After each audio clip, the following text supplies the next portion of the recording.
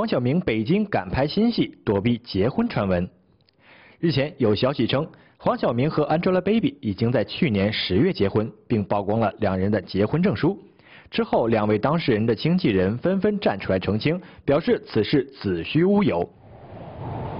近日，搜狐视频记者在北京遇到赶拍新戏的黄晓明，恰逢奶奶去世，又被结婚传闻所困扰。走出剧组所在酒店的黄晓明一脸不快，虽然古装扮相在身，但是黄晓明仍是一脸阴沉，只顾低头走路。据了解，黄晓明在北京拍摄新片《京中岳飞》，在京郊某处进行拍摄，一直从早上八点拍到深夜。黄晓明用工作来躲避传闻的困扰。搜狐视频娱乐播报独家报道。